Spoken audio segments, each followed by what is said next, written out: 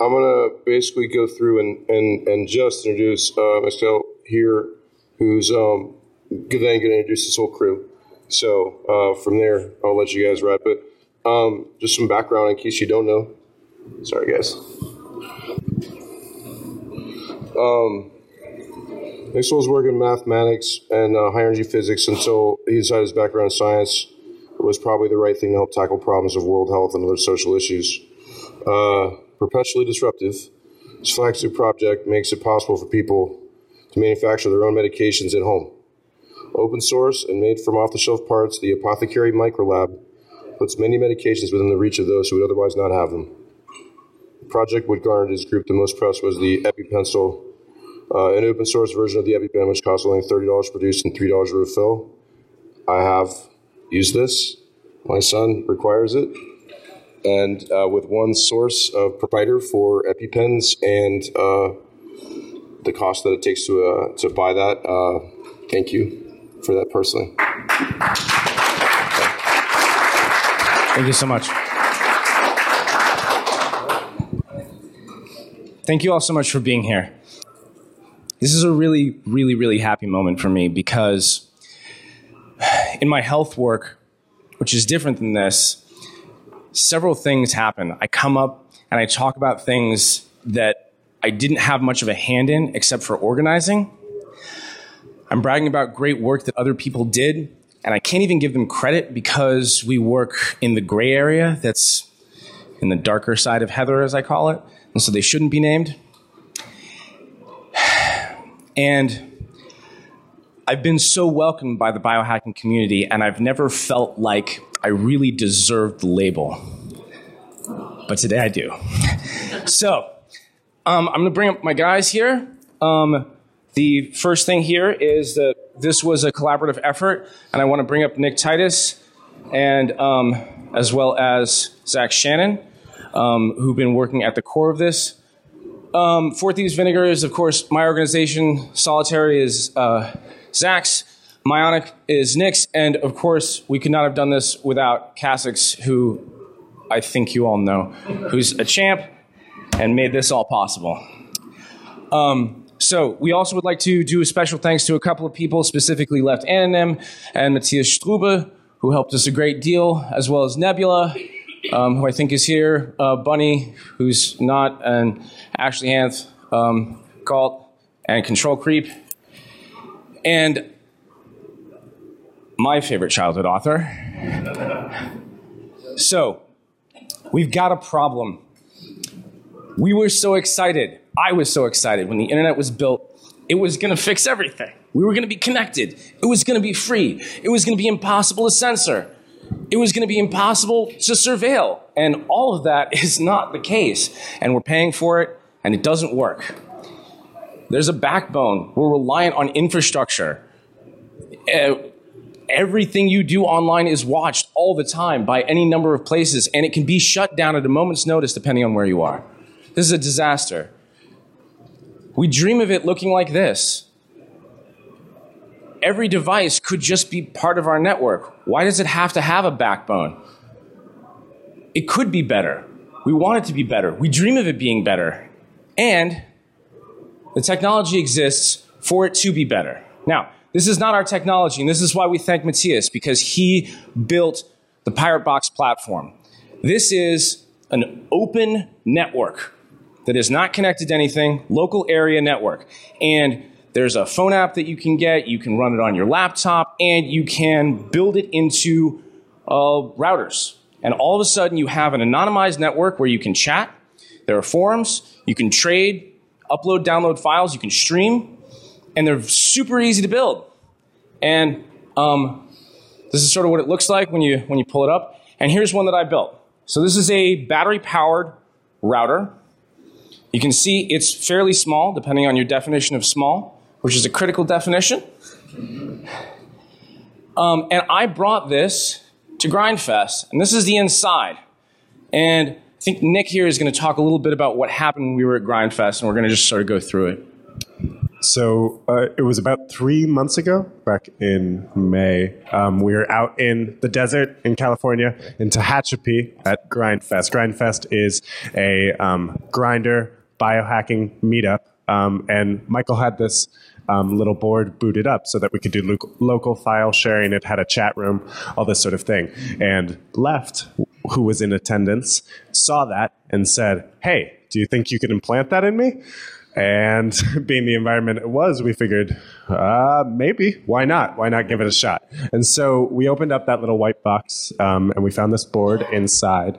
Um, and we depopulated all of the unnecessary parts. So we took off um, ports that we didn't need. We took off um, a few larger components, um, got those all scraped down, stripped down. We took out the battery because um, if you know anything about implantables, that is one of the big points of contention right now is putting a battery inside of somebody. So we wanted to avoid that. We added in 64 gigabytes of USB storage soldered onto the board.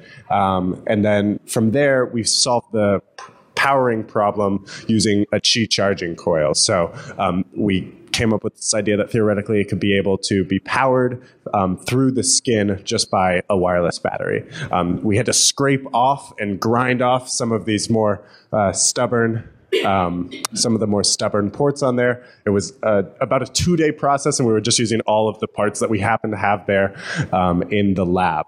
So then we get it all finished. We got it coated in a biocompatible resin that Jeff did here, and um, from there the implant the implantation started. So the rest is gory. Um, Fair warning. Yes. So in a clean room in a clean facility um, we had the first prototype um, implanted into Lepht's arm. This is the roughest of these photos. Um, so this was all done by somebody who's trained. but there's the device. It's pretty metal, pretty cyberpunk, um, and that is it in after all sutured up um, I think the next photo shows it off a little bit better once all the blood's out of there. Um, there is the device under somebody's skin. This is not a bone sticking out. That is a drainage tube that allows fluid um, to come out. But once it was in Lepht's arm, uh, Sorry. So, so this one I had to put in because yeah. this is the best compliment any of us have ever gotten, and I just want to say thank you.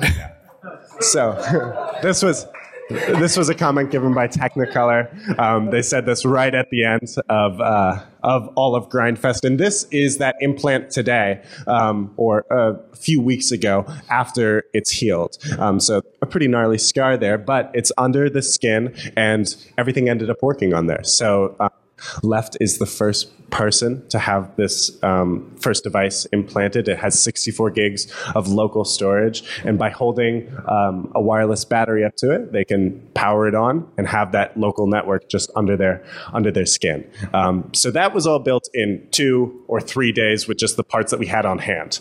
Um, and then after all that ordeal, we decided to take another step.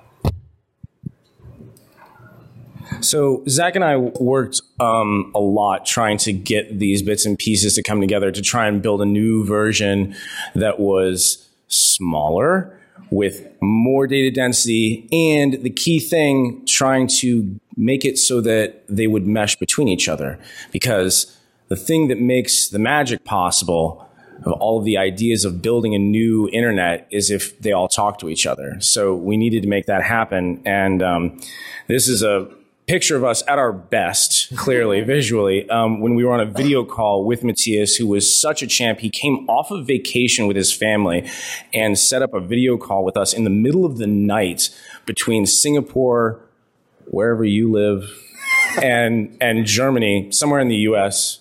So, yeah. So, you want to say a little bit about the technical side of this and what we ran up against? So yeah, we were we were trying to figure out the networking, and a lot of the documentation was very vague or translated from non-English. Um, but uh, yeah, Matthias was a great help. He was able to you know actually sketch out diagrams and walk us through all the steps of what is actually happening and you know with the topology of everything. So that that really helped us. Uh, know what we were supposed to be doing as opposed to what we were supposed to end up with. Um, but so we we were trying to get it to be smaller than version one because that was a little bigger than some people would want to get in their skin. This is really tiny. It's is it 40 by 40 millimeters? Yeah, this is 40 millimeters square. Um, so this is what we started working on. Uh, it does have, uh, you know, onboard radios, uh, a little bit of onboard storage, of course, with expandable. Uh, we were working on this uh, for a while, and um, you know, we we were really hoping that we would be able to get this project done before DEF CON so we could actually show it off and you know show all you guys this stuff. So it doesn't have a built-in antenna.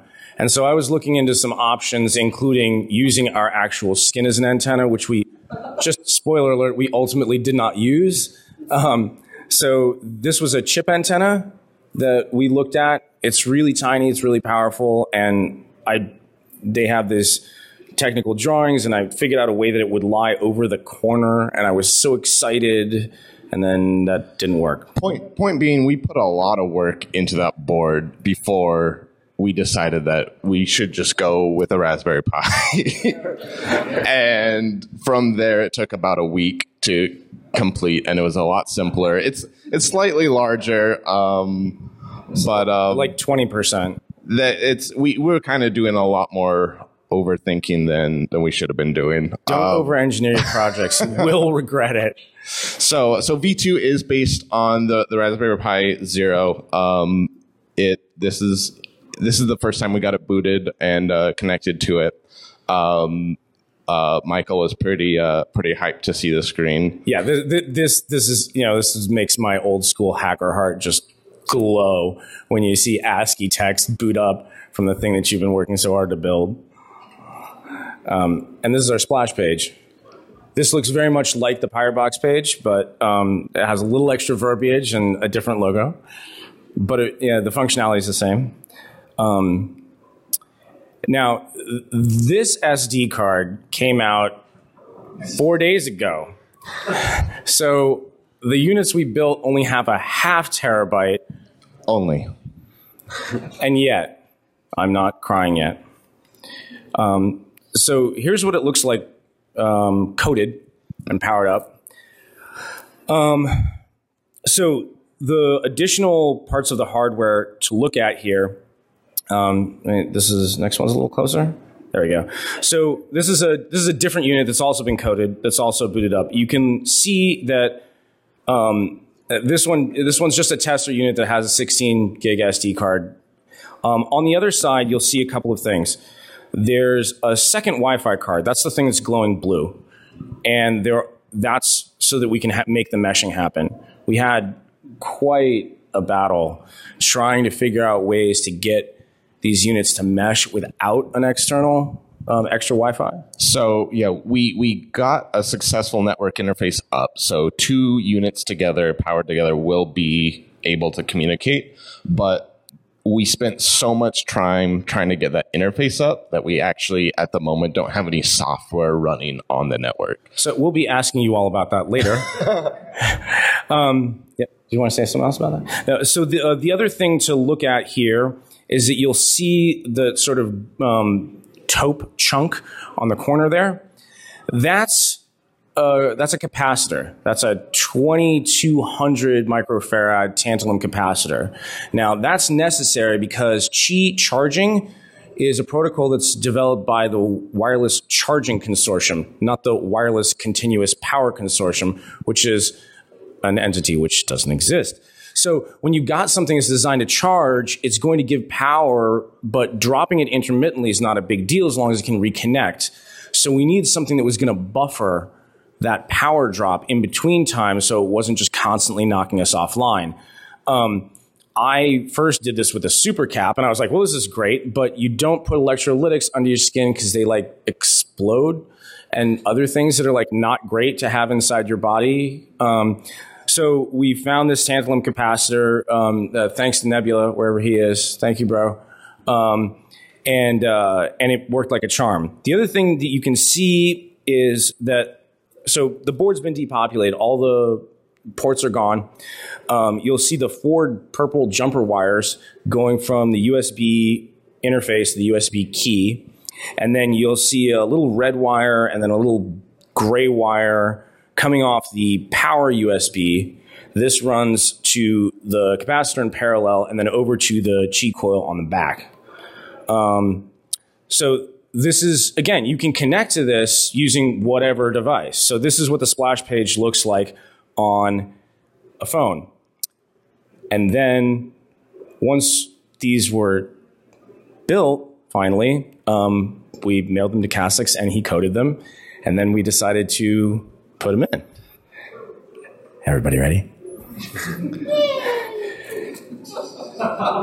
this is Cassix, who is made of steel and just grabbed the bite stick and said, I'll do the first one. and this was amazing to witness. You can't see it in this picture, but I'm standing there as first assist, absolutely awestruck. Like, and this is how you get under the surface of the skin to make a pocket so that you can get the thing in there. And then when you get the thing in there, you kind of got to shove it a little bit, love it in there. And this is my favorite picture in the entire show. What's happening here is Zach has just connected. So you see how Kaz's hand has his battery to his leg. He had just finished suturing himself up and we're spinning the thing up in real time. Nick has just uploaded video of the procedure to his leg, which is now being streamed off of my laptop here. it, and this is the most amazing thing. It was less than an hour that it took for him to do this by himself. I mean, I was there, but I brought him stuff. It wasn't like I was super useful. And then after it was ready, it was, I'm next. So that's my leg that he's building that same pocket in.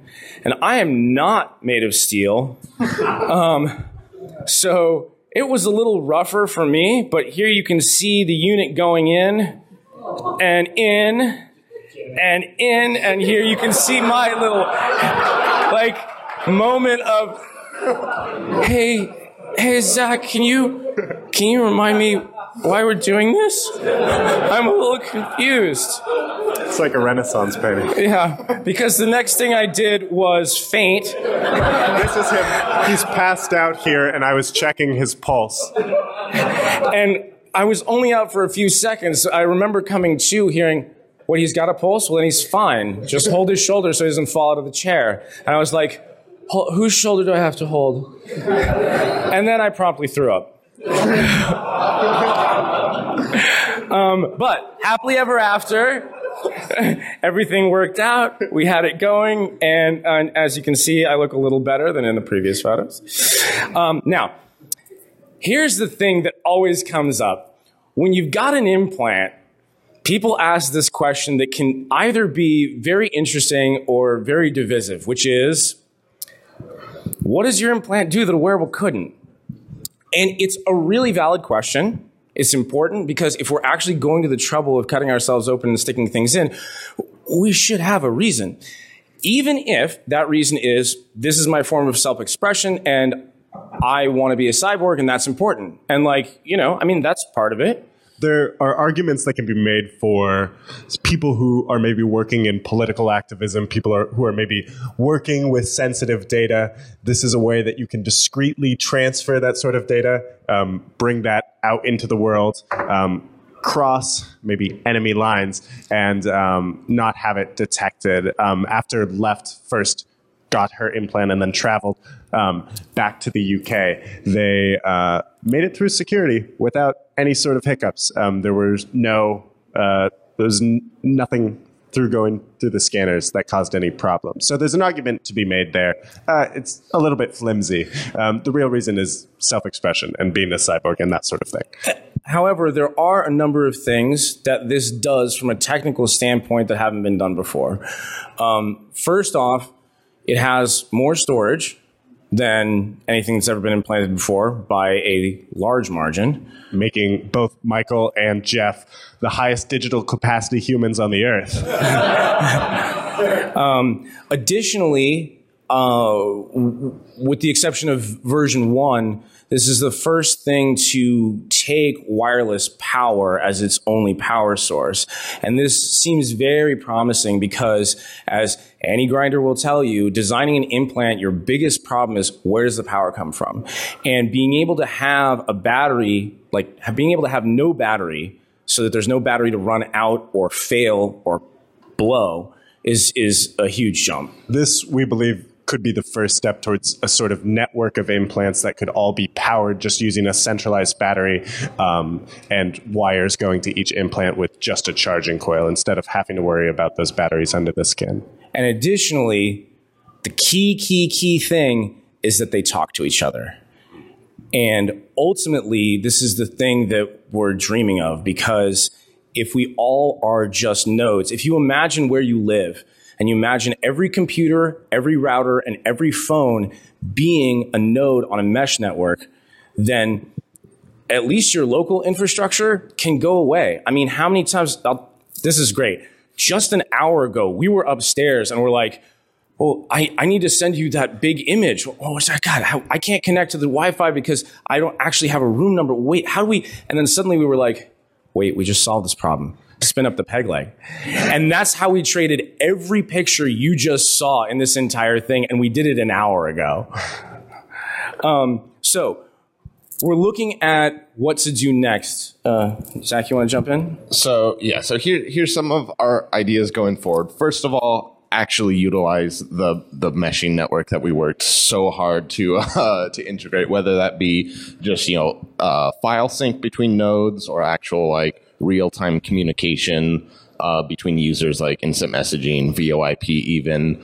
Um, and that's just on the current hardware. So going forth for um, future hardware is, uh, you know, try to um, eliminate additional uh, radios because theoretically we don't actually need that second Wi-Fi radio to do what we're trying to do. Oh, uh, um, however, I should just mention the other thing is that our the our peg leg units will mesh with pirate boxes that are mesh enabled as well.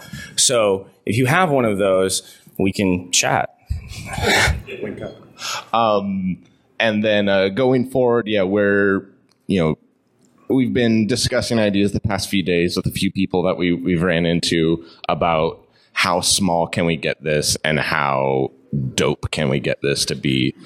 Um, there's, a, there's a lot of ideas, uh, and we think that the, this kind of platform has a lot of potential of enabling like persistent storage within the body that you can't lose or uh, forget to grab or get stolen. And then, of course, like communication, um, if you could have a decentralized communication platform that exists within you as opposed to relying on an internet connection, then that would be that would be good. One in uh, one important thing about this V2, it's about an eighth of the size of the first one. It's about half as thick, a quarter of the footprint, um, much much smaller. But at the same time, it's still a multi-purpose computer board. It has GPIO on it. It has all these things that are still superfluous and unnecessary. Um, so with V3, um, there's theoretically you could get this down much much smaller. For that, we're thinking postage stamp size and something much thinner that could slide under the skin with a less gnarly procedure. They're they're getting easier and easier, um, and we hope that that trend will continue. And additionally, the reason that I thank William Gibson at the beginning is that if you remember the idea of an encrypted data courier, it's real now because what can happen is I can spin up my network in my leg, and you can put an encrypted file on it because it's an open network. And then if we make a deal and you give me a couple of bitcoins, I can fly to, oh, say mainland China or Hong Kong, and the person that needs your data can get it because I just walk in and I spin up my network. And because it's encrypted with your system, I don't have access to it. And if we all remember our favorite little short story that William Gibson wrote for Omni Magazine in 1981, and now it's real. Sorry, what was that? A dolphin? Oh, yeah. Um, so we're raising dolphins currently. Um, we're trying to train them without um, giving them heroin. We're trying to do m- more positive reinforcement because we believe in animal rights. Uh, we give them lots of hugs and cuddles and fish, and we don't enclose them. We try and lure them in from the wild to work with us voluntarily because you know consent is important.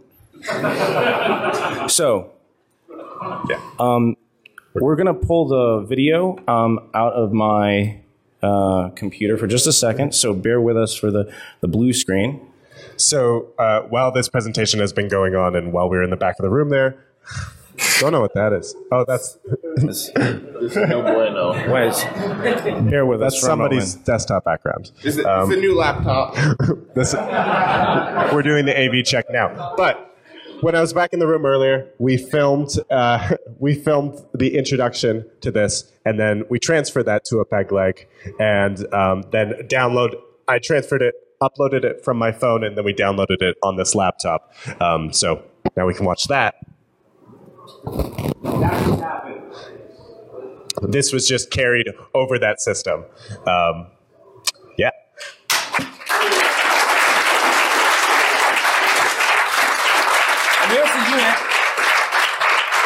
Here's the. Actual unit, still warm in my hand from the stream. And um, we'll have a couple of these, and you can come take a look at them. Um, the So, this is the big deal. Pirate Box is about to be shut down. Matthias said he's not going to do any more work because he doesn't have any help and he doesn't have any time. Now, I know there are developers in this room. I know that everyone in this room knows a developer or three or 10 or 500. Please, please go help this man build this platform. It is so important. It is so important. It's the reason that I, I let a dear friend stab me and, and put electronics under my skin. This is important. So we have these two QR codes. That, oh, oh, we need to. sorry, I thought I had my screen up, but I didn't here. So I have these two QR codes, which should come up in a moment. Um, the one on the left is the one for connecting to the PirateBox development page. You can go there and you can ask Matthias and say, "How can I help?" Here's if you you know if you have any skills that are pertinent, help this man because he's doing it solo and he's going to stop if he doesn't get any help. Go help him. He's on Twitter too. Okay, go find him. He's awesome. Um, if you want to see our little page that has like a modicum of documentation, um, it's on the it's the other QR code. And that, that has some more information about the project. It has some people that we thank, and it also has that documentation. Remember, we built this using all off the shelf parts. It's something that anybody can build. That's a big purpose of this whole thing. And that's the thing. If you don't want to put this under your skin, it becomes significantly easier. You literally can flash an SD card, stick it in a Raspberry Pi Zero W, attach a second Wi Fi card, and it will spin up. I mean, it's a 15 minute build. It's incredible. Um, so, the. Yeah. Let's go make it better. Thank you all so much.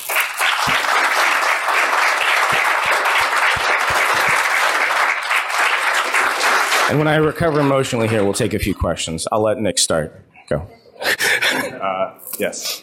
So, uh, a lot of these single board computers uh, put out a lot of heat. How do you all manage that? So in the testing that we've done, um, the coating that it has helps helps to kind of disperse that heat. It's not just the one chip that's in contact with your body. Um, that sort of helps to um, Diffuse it. diffuse the heat. And so far, we haven't had any and, issues. and we stress tested that a lot before deciding to put it in because, of course, you don't want something burning a hole in your leg or in my leg. yeah. Um, so I think that is mainly governed right now by um, the SD card. So writing that many, many times, reading that many, many times, um, that's can have wear on it. Um, and so what we've done is um, what we've done is set it up so that it's doing that a minimum amount of times. I believe it's every five minutes that it rewrites in a single batch. Um, that way you have minimal wear. But at the same time, it's not that complex to get them back out of your body and replace that sort of thing. So So we've got about five minutes. We can take maybe one or two more. Yeah. If it goes to the airport, will the metal detector interfere with it? Uh, interfere. Like if it were running when you went through a metal detector, if you only went through a metal detector, it should be fine. If you went through a backscatter machine, I assume that you're going to have some pretty bad interference problems and you probably won't be able to hold a connection, but it, you, your power will probably not disconnect. So you could have it running continuously. And then once that thing is done scanning, then anything that's linked to it could probably reconnect. But again, that's one of the things is the power is all passive. So only if you put a battery up to it is it running. which- So yeah, if it, if it's off and I'm just walking around, then no big deal. Yeah. yeah. Uh, I think there was one more over here. Yeah. Yes, Monsieur. The green That's hair. Uh, you considered running a capture the flag competition for your body. Sorry, say again. that'd be fun. Capture the flag competition for the peg legs. Um, let's talk. Maybe we can set that up. I think we have maybe one or two. Any any other questions? Are, are we all done? we have, yeah, one, more- one more over here. Yeah. Yeah. Okay. Okay. Thank you all so much. We are so happy about what we've done and we're going to celebrate. I think we're going to go have drinks and you're all invited. So thank you all so much for coming. Yeah.